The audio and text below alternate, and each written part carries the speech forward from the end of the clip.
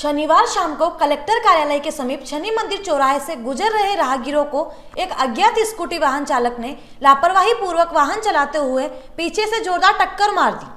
वहीं स्कूटी चालक भी गंभीर रूप से घायल हो गया। घटना के बाद मार्ग से गुजर रहे राहगीरों ने पुलिस को सूचना दी। सूचना मिलते ही केंट थाना प्रभारी अजय सारवान द्वारा तुरंत मामले को संज्ञान में लेकर चीता टीम को मौके पर भेजा और घायल को उपचार के लिए जिला चिकित्सालय भिजवाया गया। घायलों का जिला चिकित्सालय में उपचार जारी है।